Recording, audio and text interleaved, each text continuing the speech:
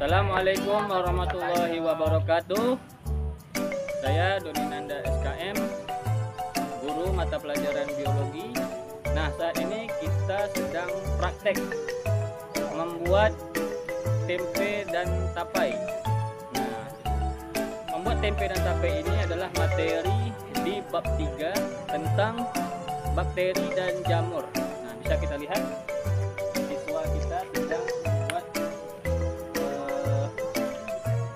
tempe dan tapai.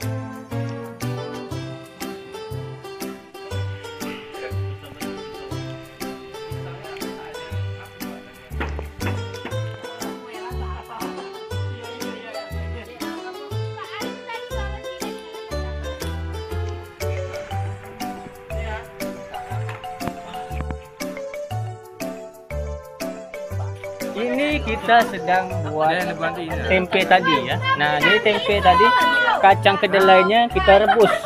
Nah, ini dia proses perebusan kacang kedelai.